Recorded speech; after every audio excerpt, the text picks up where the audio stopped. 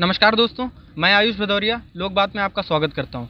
आज मैं साहित्य अकादमी के साहित्योत्सव कार्यक्रम में उपस्थित हूँ। आज हमारे बीच अनुवादक श्री जानकी प्रसाद शर्मा जी उपस्थित हैं, जिनसे हम अनुवाद के विषय में कुछ चर्चा करेंगे तो सर, जैसा कि आपने कहा है कि वाद हो, संवाद हो, फिर उसका अनुवाद हो अगर आम तौर पर या आम भाषा में अगर या कोई आम व्यक्ति इसके बारे में बोलेगा या ये कथन कहेगा तो वो एक साधारण शब्द होगा। पर जब ये कोई साहित्यकार या कोई अनुवादक ये शब्द बोलता है या कथन बोलता है तो इसके पीछे एक विशेष कारण होता है। तो आप उस कारण को बता सकते हैं? निश्चय ही मुझे उस कारण को बताने में कोई संकोच नहीं होगा।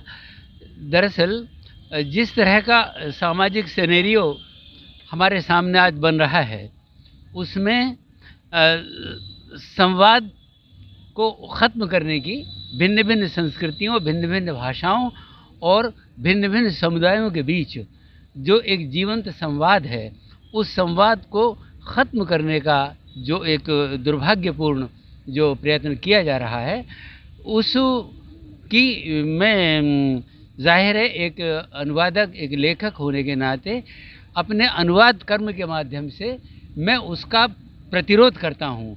ये प्रतिरोध सिर्फ़ ये नहीं है कि मैं उस, मेरा रूप प्रतिरोध का भिन्न है, क्योंकि हम एक रचनात्मक काम के ज़रिए एक गलत बात का विरोध कर सकते हैं।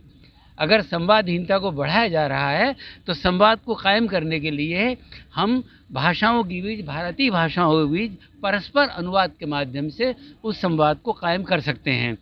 और दूसरी बात यह है, क्योंकि देखिए, मैं, मैंने अपने वक्तव्य में पहले भी कहा था कि एक लेखक होने के नाते मैं बार बार इस बात पर ज़ोर देता हूँ कि मैं अकेले लेखक की भूमिका में कभी बात करना पसंद नहीं करता। आपकी एक सिटीज़न की एक नागरिक की भूमिका भी है। तो वो नागरिक की भूमिका आपको आपके सांस्कृतिक, सामाजिक, यहाँ तक कि राजनीतिक जो दायित्व हैं, मैं, हमें इससे क्यों संकोच करना चाहिए कि हमारा राजनीतिक दायित्व भी है? हमारे प्रजातंत्र पर, लोकतंत्र पर, अगर मान ली उसके प्रमुख आधारों पर अगर कहीं कुठाराघात होता है तो हम अगर उन पर, उनको कमज़ोर किया जाता है तो ये एक हमारा देखिए, शुद्ध संस्कृति से बात नहीं बनेगी। जब संस्कृति आप कहते हैं तो संस्कृति ज़ाहिर है क्लास बेस्ड होती है। आप ये कहें कि भाई संस्कृति संस्कृति अपने आप में क्या है? आप ये देखिए कि जो एक किसान वर्ग है, उसकी संस्कृति भिन्न है और हमारे देश में एक जो अल्पसंख्यक समुदाय है, उसकी संस्कृति भिन्न है। आदिवासी जो जो जो यहाँ पर साहित्य अकादमी के आयोजनों में काफ़ी केंद्रीय केंद्रीयता उसको मिली है। जो आदिवासियों का जो, के जो भिन्न भिन्न जैसे मध्य प्रदेश में छप हुआ है और छिंदवाड़ा हैं, मध्य प्रदेश में, और जैसे राजस्थान के अंदर कुछ ज़िले हैं, और जैसे पूर्वोत्तर है हमारा तो हमारी आदिवासी जो संस्कृति है, वो इतनी ज़्यादा संपन्न है, और उसमें भी इतनी विविधता है। तो संस्कृतियों के बीच जो वैविध्य है, वो वैविध्य है देखिए, सारे मुल्क को एक ही रंग देने से वो वैविध्य नष्ट होगा।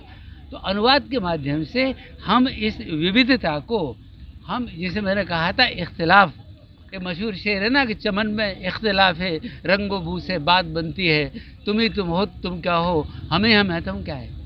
तो ये जो इख्तलाफ है रंग बू यानी जो रंग और खुशबुओं की जो भिन्नता है तो आपने कहा, मैं वाद और संवाद पर आता हूँ कि बुनियादी बात यह है कि वो संवाद हो, वाद हो, यानी आपने कहा वाद है।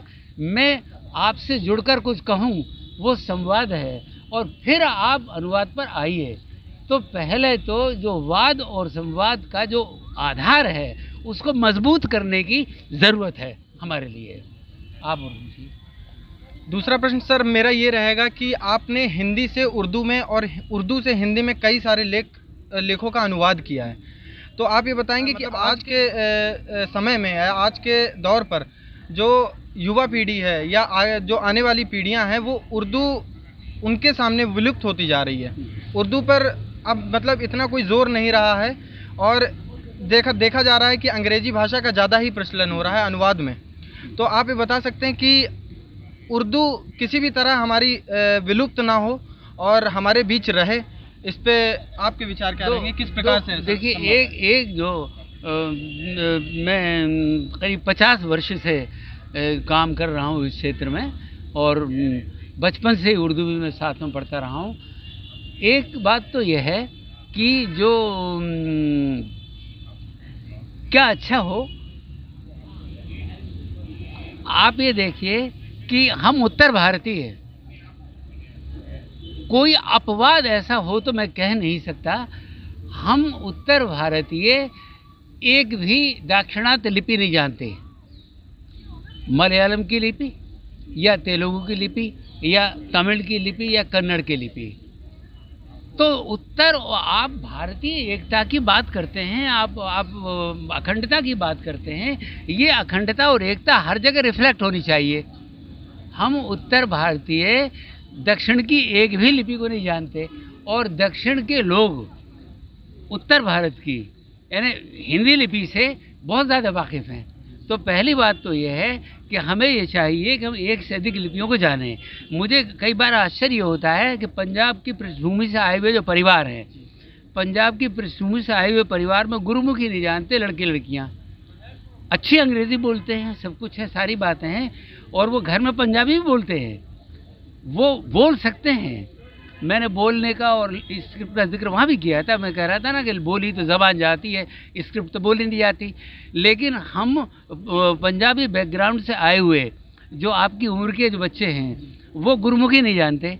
और उर्दू की बैकग्राउंड से आए हुए, अगर मैं स्पष्ट शब्दों में ये कहूँ कि मुसलमान जो घराने हैं, पुराने, मुसलमान घरानों के जो नौजवान लड़के, लड़कियाँ हैं, वो उर्दू लिपि नहीं जानते।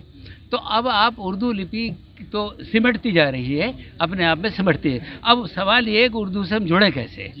तो देखिए इसका एक रास्ता ये है कि देवनागरी के माध्यम से जो उर्दू साहित्य हमारे सामने आ रहा है मैंने महसूस किया है कि देवनागरी के माध्यम से क्योंकि सुलभ है वो सबके लिए यानी उत्तर भारत के अधिकांश नहीं लगभग सभी लोग देवनागरी लिपि पढ़ सकते हैं।